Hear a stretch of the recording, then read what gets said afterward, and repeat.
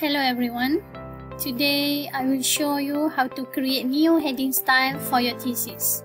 So basically we will create new heading style for preliminary chapters. So example of preliminary chapters is preface, acknowledgement, table of contents, list of tables and etc.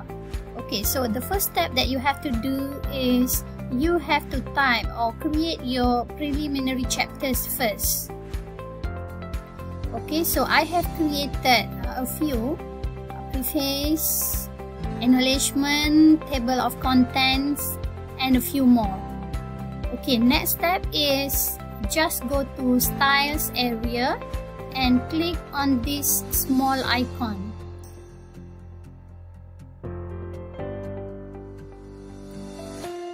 and if you notice the styles pane will appear on your right side okay next click on this new styles button okay and name your new style so I will name the new style as preface okay next go to format paragraph at the outline level area change to level 1 and click OK.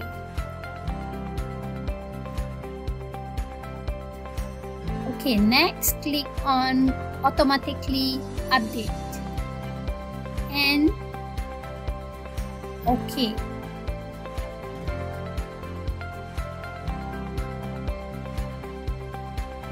Alright. So, next for this new style, you have to modify this heading first. Click on this drop down menu and click on the modify. Okay, so you can start modify this new heading. Okay, choose the uh, font style, size, bold, color, middle, okay, and make sure you click OK.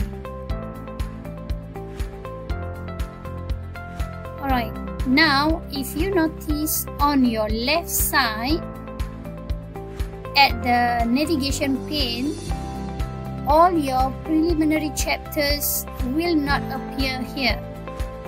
Okay, next step is put your cursor here and click on the new style that you just created.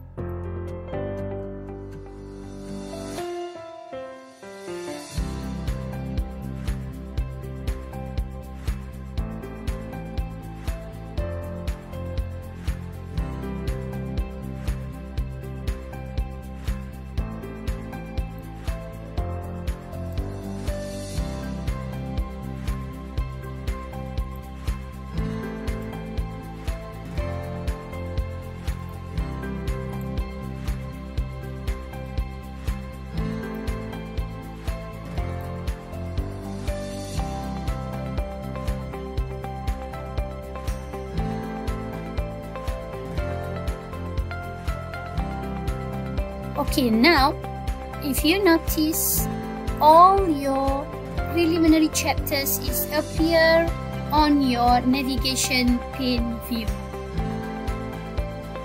Okay, so that's all from me. Thank you.